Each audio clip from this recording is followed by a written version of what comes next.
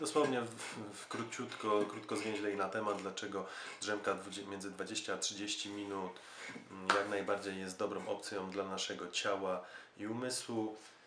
Ech, bli- 20-30 minut y, taka drzemka popołudniowa powoduje, że mm, nasz organizm, zwłaszcza, zwłaszcza obszar mózgu odpowiedzialny za koncentrację, regeneruje się w 100%.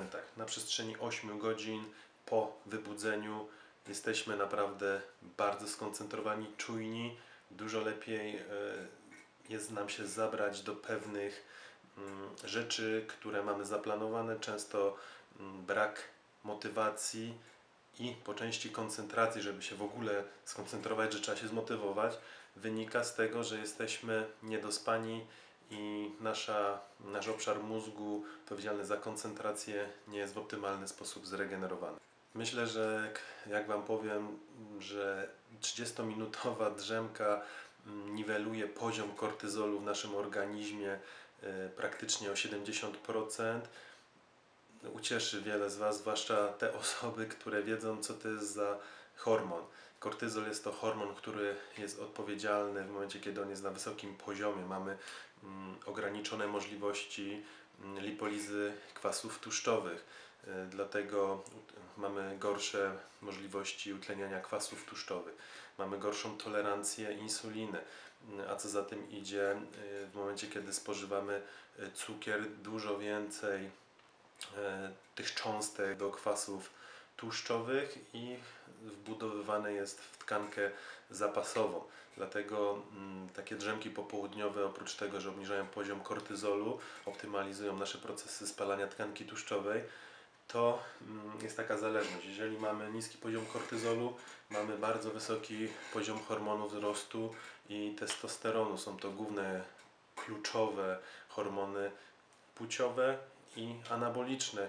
Dlatego jeżeli mamy odpowiednią pulę hormonów anabolicznych, one sprzyjają spalaniu tkanki tłuszczowej i utrzymywaniu, a nawet budowaniu beztłuszczowej masy mięśniowej. Dlatego osoby, które ciężko trenują, bardzo fajna sugestia, róbcie drzemki 20-30 minutowe po południu. Sam Einstein spał w sy- systemie polifazowym, czyli dzielił na dobę praktycznie na 7 czy 6 części, spał po 20-30 minut i bardzo, jak sam mówił, był wydajny i optymalny w swojej pracy. Zresztą widać to po jego sukcesach naukowych. Taką praktyczną wskazówką dla osób, które chcą zaliczyć drzemkę po południu jest wypicie około 50, dobrej, jak, 50 gram dobrej jakości espresso. Wypijamy, kładziemy się, usypiamy.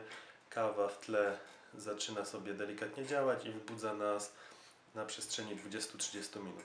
Mamy wtedy gwarancję, że przechodzimy przez fazę snu REM. W tym okresie dochodzi do pełnej regeneracji naszego mózgu, układu nerwowego.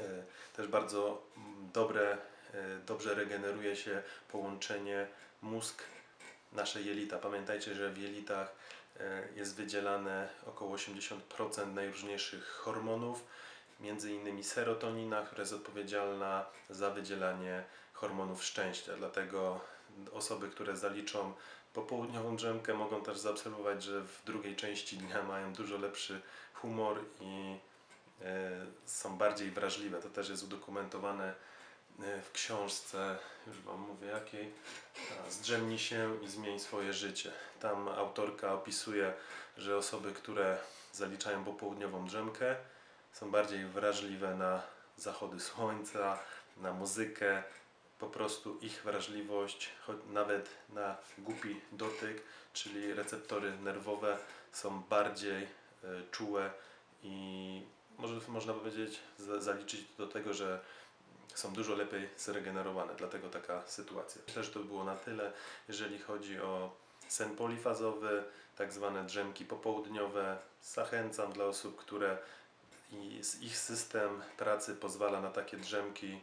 Śmiało spróbujcie, zobaczycie, że dużo lepiej będziecie zregenerowani, będziecie dużo lepiej kreatywnie myśleć i będziecie skłonni do działania.